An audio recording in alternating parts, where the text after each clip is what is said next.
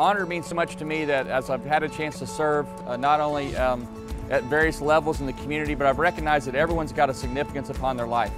And honor to me is celebrating who a person is, not what they're not. It's not about being the best, it's about giving your best. And you get an opportunity to say thank you and to give honor uh, in four major events. Hearing about the Emerald Coast Honor Games is, a, is just an opportunity to give back on many levels for me. Privilege for me to be able to honor these people and their service and their sacrifice and what they've already done.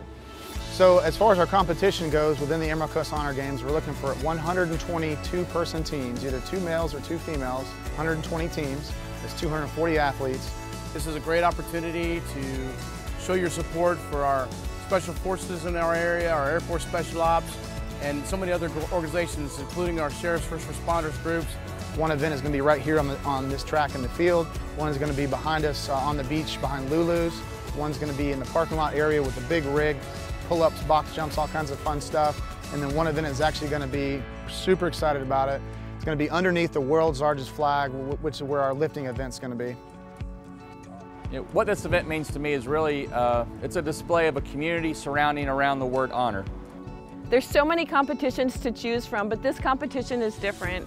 It gives you the opportunity not to just say thank you for your service, but to put those words into action. Have a kids zone, have music, uh, lots of food, all kinds of fun for everybody. So, so come out, spend some time, whether you have five minutes or five hours, come out and give some time to the Emerald Coast Honor Games. And I'm calling out uh, sponsors to join us for the Emerald Coast Honor Games. We need $100,000 to help our first responders and their families. The funds that we raise from this are going to go a long way to help them and all the other organizations that come together in this. To support four charities, the Sheriff's Office Star Charities, Healing Paws for Warriors, Combat Control Association, and the Special Forces Association. We're all going to split the proceeds to help those who are defending our front line. So I say, come on out, join the fun, and sponsor us. We're have really cool swag, really cool guests, really cool speakers, and just all kinds of fun people.